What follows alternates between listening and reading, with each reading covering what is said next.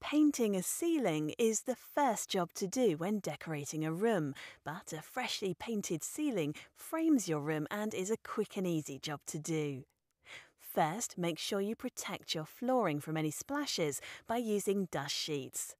Mask around the edges of the ceiling to ensure a perfect finish. Start painting by cutting in around the edges using a brush. Using an extension pole and roller, load the roller evenly and apply the paint in sections to ensure a good even coverage. It's easy with Johnstone's paint. Johnstone's, making the most of your home.